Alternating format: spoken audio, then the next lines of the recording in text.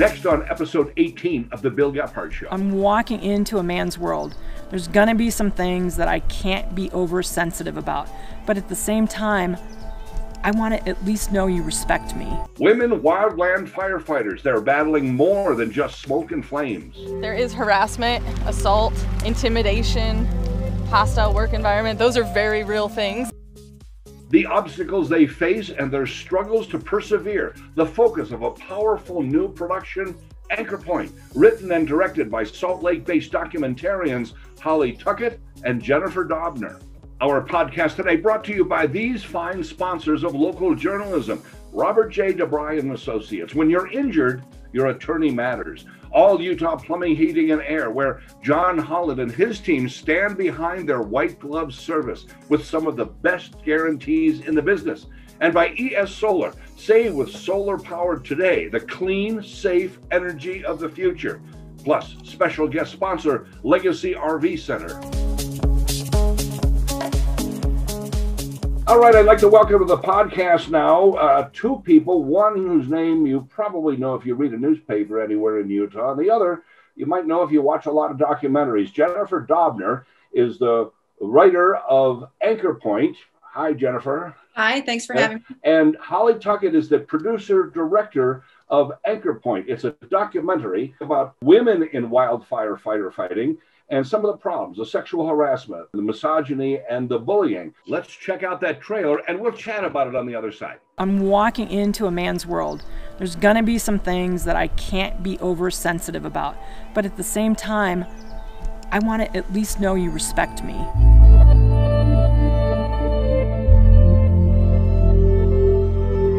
Is harassment, assault, intimidation, hostile work environment. Those are very real things. The minute you stand up there and say sexual harassment, the men that aren't inflicting it or don't see it happening just tune out. They're like, well, that's not happening. That doesn't apply to me. Firing or lost training. if you don't really feel it in your heart and soul to work in a very, very challenging environment, this is going to be a really, really hard career for you, a hard job. But I do hope that, that you find friendships here, that you find a community here, because for me, the more that I can form a network outside of my work is really, truly um, what gives me strength. There's so many things I love about doing this work. I love the way fire smells. I love going home and being able to smell the smoke in my braids still. I love that it's never the same. I don't walk into the same environment every day. No two fires are alike. Hey, how are things looking? How do you feel? I think things are looking really, really good and feeling very, very good. When I first started in fire, I didn't feel like it was my place to rock the boat. Now I'm past the point of like giving any shits. My name is Kelly Martin, and I am the Chief of Fire and Aviation Management at Yosemite National Park. I've been in my current position for over 10 years.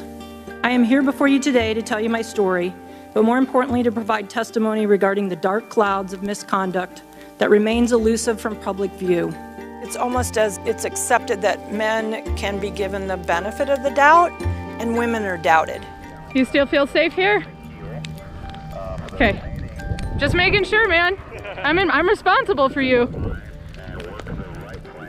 I've never seen anybody suppress a fire with their penis. It shouldn't hinder me professionally that I don't have one.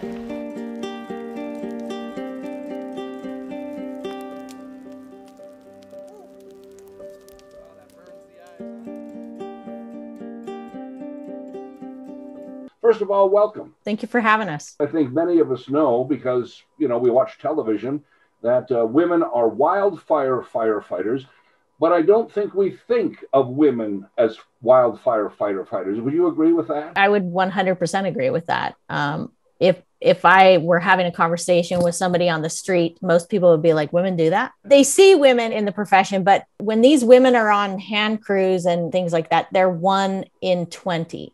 Most crews are 20 people deep, and there's usually one, maybe two women on each of those 20 person crews.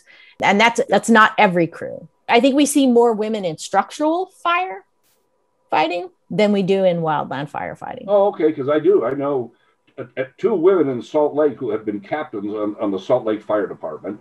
Um, Yeah. Maybe I'm sure there are more coming up in the ranks, but maybe not so much uh, in wildfires. Although every wildfire I've seen, I've seen not many, but a couple of women, I suppose. Why is that? Um, traditionally, it's been a very male-dominated field. Um, you know, the the the work is considered more robust. I mean, it's definitely manual labor. You're digging fire lines, uh, you're hiking for many miles. The skill set is such that women aren't really seen as being capable of carrying a 45 pound plus backpack and hand tools and digging Endurance. endurance around, of yeah. it all. Yeah. You talk about uh, uh, discrimination and bias and that sort of thing. Uh, sometimes I think women are discriminatory against themselves. I, I would agree. Um, you know, that is one of the things that uh, a lot of folks in the fire service that are my age are the, the women who kind of put up and shut up, I would say. Um, and so when they, when they, you know, would have women come up through the ranks you know sometimes they would distance themselves from from other women because they didn't want to be associated with someone who wasn't as strong as they are Right. who who didn't have the same same skill set or that was new and hadn't built up those those skill sets that they had and so you know they they would they would oftentimes you know fend for themselves and kind of say you have to fend for yourself Okay. um you know in the past I, I think that's changing and I, and that is what our film really is about is women uh, coming together and lifting one another up and helping each other get get to the to the higher ranks uh, in the in the fire service Jennifer Dobner, this sort of follows the career of Kelly Martin, U.S. Forest Service at the Yosemite. I'm guessing she worked herself up from the Chief of Fire and Aviation. And Lacey England, who is a helitack firefighter. Helitack merely means that you are dropped into a fire by a helicopter, and it Yeah. follows their careers, doesn't it? What have you written about with regard to their careers? we were drawn to Kelly and Lacey for a couple of different reasons. Kelly has had, um, she spent 35 years in wildland fire, working her way up from, you know, the ground crew to a very powerful uh, position as chief of aviation and fire at Yosemite, which is not a job that many women ever get. I think that's the first time a woman at Yosemite has had that job, is it I, not? I, yes, that is absolutely true. And so she was at a point in her journey looking towards retirement um, when she made a decision in 2016 to testify before Congress and whistleblow on some of the sexual harassment, mistreatment, discrimination that she had seen throughout her career. And um, I think it was a really tough decision for her because um, it wasn't something she'd ever talked about. It had happened to her. She'd been um, the victim of a peeping tom incident Mhm. um, with a coworker when she was at um, the grand canyon.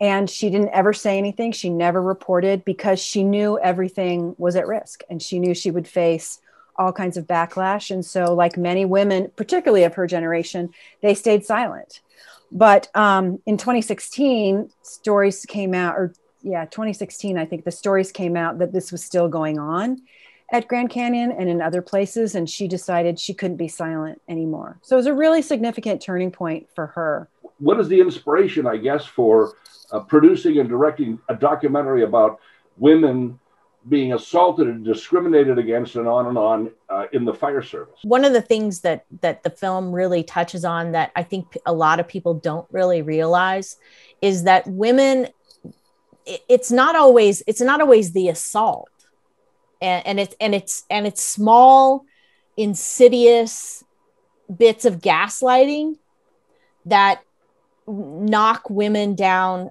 one little statement comment whatever at a time and i think that those statements and those comments happen to women in every field For instance, what's something I'm some subtle thing that I might not even know about? Lacey talks about this in the film. She talks about being called a girl by her boss and um, bringing it, and people saying, Well, what's the big deal? And she's like, Well, but they said it, you know, like nearly 50 times to me in a week. And when I pointed it out, I was given a hard time for being a problem by saying, like, I don't want to be called a girl. And it might seem like a small thing to people, but I think um, uh, well, she's a grown ass woman. She's like she's woman. not, she's not a little girl. No, she's and, not and, a little girl, and she's doing a job equal to every other man on her crew, and yet she never felt respected, and it, by extension, never really felt safe on the line because she didn't know if somebody would have her back because they were maligning her all the time. As somebody said in the film, one has a penis, one does not. I've never seen anybody suppress a fire with their penis. It shouldn't hinder me professionally that I don't have one. Is there a difference other than that? Not really. Okay. No, in terms of skill set, there's absolutely not. Yeah. There, the job really is the job. The requirements of the job are the requirements of the job. You have to train. You have to take the same tests in order to um, be able to to get the right certification to do the job. It's not different between men and women. No, and Lord knows enough men would fail the test. I probably would, uh, you know, for certain. Mm-hmm. Maybe not now, or maybe now, maybe not when I when I was much younger. Then this is about, is it not, uh, disrespecting women and uh, equal treatment? Yeah, I think I think women are looking for an equitable place at every at every table. Um, that women are wanting to be seen and respected in the same light that their male colleagues are are are seen and respected. Um, okay. You know, I, I, think for me, the you know, you asked earlier why why this topic, why this, why was this the thing that I chose? Um, I, I'm a camera woman. Uh, I'm a camera person. In my years of doing this job, I often am overlooked because I am a woman doesn't matter how many years I have, I'll find that men get hired much more often for things than than myself. I have a friend who works in sports as a camera person and she's constantly being maligned by by men in her field and she constantly is having to prove herself over and over and over again. And um you know, it's it's I think that it's it's in every field where women are constantly having to battle to have their seat at the table. And and it's and it's not it's not always about assault. It's not always about harassment. No. it, it's about the small things. Jennifer you think men are uh, reluctant to work with women on the fire lines? Be careful about your prejudice because you know women being disparaged by men is prejudicial against men because I frankly don't think all of us are equally prejudicial against each other. No, oh, but I, I, but I think what one of the things that Lacey talks about yes. in the film is that the men that she has gone to for help to to stand as an ally when someone is bullying on on the fire line or yes. within the team. I see they, they they won't they won't they, they'll they'll come to her at the bar afterwards when they're away from the crew and say that was really shitty what happened to you well then why yeah. the hell didn't you speak up yeah. while we were there in the moment mm-hmm. and i and think they, that it, it's that complacency that that yes not all men are horrible and and lacey has plenty of guys that are on her crew that she loves and loves to work with However, when it comes to uh, having an ally that will stand beside you and stand up for you, she did not find that. Okay. And I think one of the really important things um, to think about is that in the in the situation of being in the middle of a wildfire, when there's 20 of you on the top of a remote mountain someplace and things are getting scary, right, or bad, if there isn't uh, respect across the board and trust across the board, y- you would not feel safe. And she talks about it not feeling safe in situations when she didn't know because somebody on the crew uh, didn't think she was competent and didn't want to work with her and didn't respect her, that she didn't feel it was safe. And that dynamic can affect every other person on the team. And um, so and i think kelly would also say that she's had a she had a career with a lot of great men who supported her a lot of terrific people who were always you know beside her. But she also never felt all the way through her 35 years that when she reached upper management that she earned anybody's respect. Why is this documentary called Anchor Point?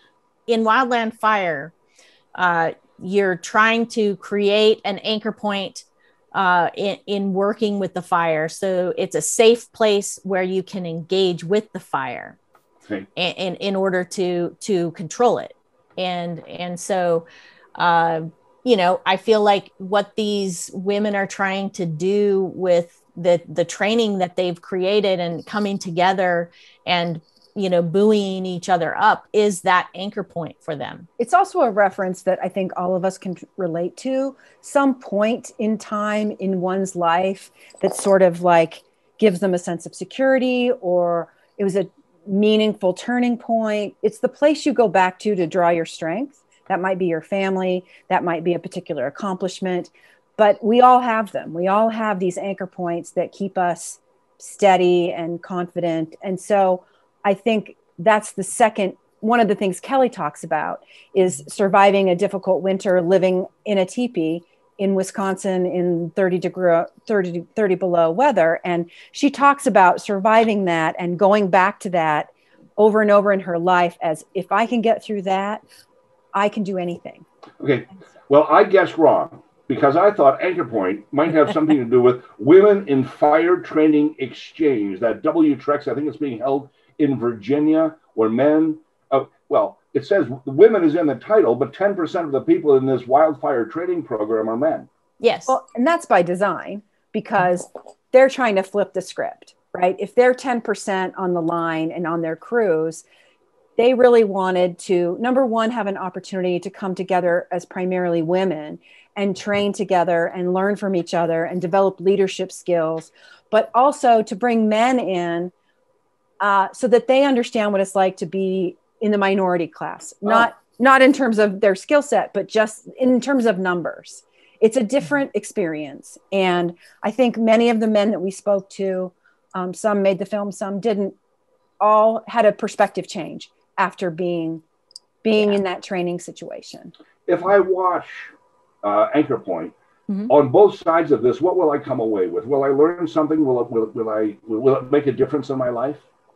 I hope so. I hope that uh, those who don't think that women belong will see that they do. Um, I hope that they will also see that women bring a, a different perspective.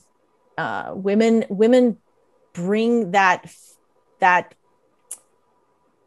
oh, what is the word I want to use? I, I you know, for lack of a better term, Sure. you know, they're they're I think they're more in tune with Mother Nature because Mother Nature is all about mothering, and um, you know, I think that that that innate uh, ability to to nurture, uh, you know, is something that adds to a crew. You know, it adds their perspectives. They look at fire differently sometimes than men do. Um, you know, they see uh, the world around them differently, and you know, I think that every perspective is important. And, you know, there are times when we need to let a fire burn. And Kelly is a big proponent of that. She changed how Yosemite, you know, works around suppression of fire. They they are one of the national park systems that actually lets fires burn. And and, And that that- makes it not the enemy because we're trained, you know, in city firefighting, the, uh, that the fire is the enemy. yes yes. And and and and there is a place for suppression. Um, however if we want to have a sustainable planet we need to start to look at fire differently. And uh, a lot of these women because of the fact that uh, they often get get um, pushed aside into Yeah. roles of ecology rather than focusing on you know the the more active roles of say you know um, being you know training to be uh, you know a rappeller or a smoke jumper or whatever they actually learn about how important fire really is to a landscape and so a lot of those women that are on those wildland firefighting crews have a really much different understanding than just the teenagers who are hired right out of high school to because their brute and brawn can fight those fires. Right. Most of the women that are in the fire service have actually gone through, uh, you know, collegiate training as a fire ecologist, as as a as a land management person, um, and when we are making them feel uncomfortable in those roles, we are losing those perspectives. We are losing that talent when when they leave the fire service. And and so it, it's affecting our land management. And Jennifer, yes, how about it? What will I come away with no matter who I am after I watch Anchor Point? Um, well, I think you'll come away with a new perspective about what wildland firefighting is about. I think you'll be surprised by the women's stories. I mean, surprised and not surprised, right? This is a universal theme. Whether you are a woman in a boardroom or a woman on the fire line, there are challenges that are gender based, gender bias based. And so the story is universal, but we don't hear about this much. I don't, um, No, we I don't. mean, I've covered I've covered a lot of firefighters, fire fire wildfires in my time as a journalist, and I almost rarely saw women in anything other than support roles, such as PIOs or at the you know at the camp feeding people. So I think you'll get a new perspective about these women and what they can do and what they are doing. And I think you'll appreciate the struggles that they have.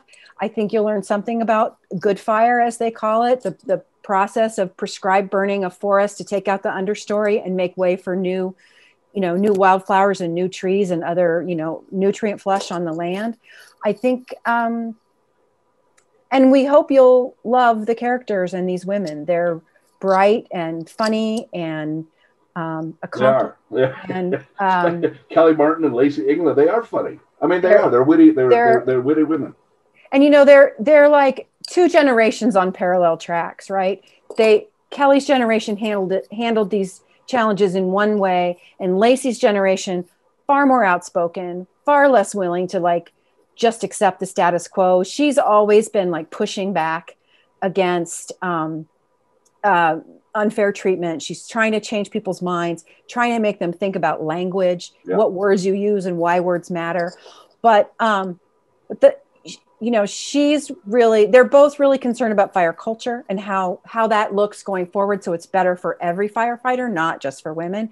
And also they're really working hard to help women um, see fire as a lifelong career to have the skills to compete to have the leadership skills to have the physical skills so that they can they can see a path forward i think a lot of women leave the fire service because they get passed over they're Huh. ignored Women can do about anything men can do. That's just all there is to it. Um, Anchor Point, it's already premiered. Holly, where can I find this to watch this documentary? Right now, you can find it online, And What's cheap? Three ninety nine or something? three ninety nine right now. I mean, Great it- deal it's it's way Listen better. to you. You sound like a used car salesman. Three ninety nine right now. If you don't make it, you don't wait. they- You sound great. Congratulations. both let me just say- yeah. this is not a used car this is this is bright and shiny and new and and we are totally biased but i think it's really worth seeing for I know, but did you hear Holly's voice go into used Yeah, oh, car yeah. mode when the three ninety nine? Three ninety nine. Congratulations, Holly, on this accomplishment. It's fabulous. Uh, Jennifer Dobner, longtime writer in uh, in Utah and in San Diego and other places. I, I really appreciate you both coming on here and talking about Anchor Point, and, uh, and and we'll see you again soon. Awesome. Thanks for having us, Bill. You bet. That is it for episode 18 of the Bill Gephardt Show. Thank you for joining us today. And for the latest and local breaking news, check out gephardtdaily.com. I'll see you next time.